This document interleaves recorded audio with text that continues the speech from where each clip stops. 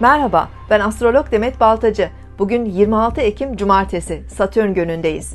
Aslan burcunda ilerleyen ay sabah saatlerinde Boğa burcundaki Uranüs'le kare açı yapacak ve 11.03'te boşluğa girecek.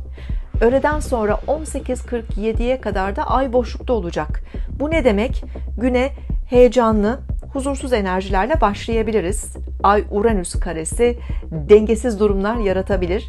Beklenmedik bazı gelişmeler günlük planlarımızı da değiştirebilir. Bu yüzden bugün sürprizlere açık olmakta ve esnek davranmakta fayda var. Özellikle sabit burçlarımız Boğa, Aslan, Akrep ve Kovalar bu etkiyi daha fazla hissedebilir. 18.47'den itibaren ise Ay burç değiştirecek, Başak burcuna geçecek. Akşam saatlerinde daha düzenli, biraz daha böyle kontrolcü, titiz enerjiler altında olabiliriz.